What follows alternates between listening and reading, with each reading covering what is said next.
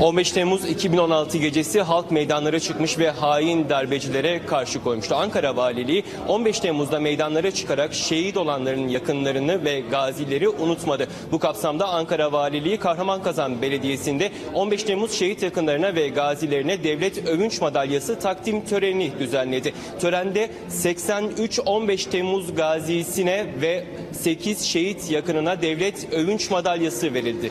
Tören Kur'an-ı Kerim e, tilavetiyle başladı. Kur'an-ı Kerim tilavetinin arkasından Ankara Valisi Ercan Topaca bir konuşma yaptı. Ankara Valisi Ercan Topaca konuşmasında 15 Temmuz'da milletimizde ümitsizlik yoktu. Allah'a şükür milletimizin içerisindeki vatan sevgisi bir anda parladı ve 15 Temmuz hain darbe girişimine kalkışanlara güzel bir cevap verildi dedi Ankara Valisi Ercan Topaca. Ankara Valisi Ercan Topaca'nın gündeminde Afrin'e olası operasyon da vardı. Ankara Valisi Ercan Topaca operasyonla ilgili Afrin'e oraları gerçek sahipleri yönetsin diye bir operasyona başlamak üzereyiz açıklamasını yaptı. Evet bizim Kahraman Kazan Belediyesi'nden aktaracaklarımız bu kadar. Gelişmeler oldukça paylaşmaya devam edeceğiz.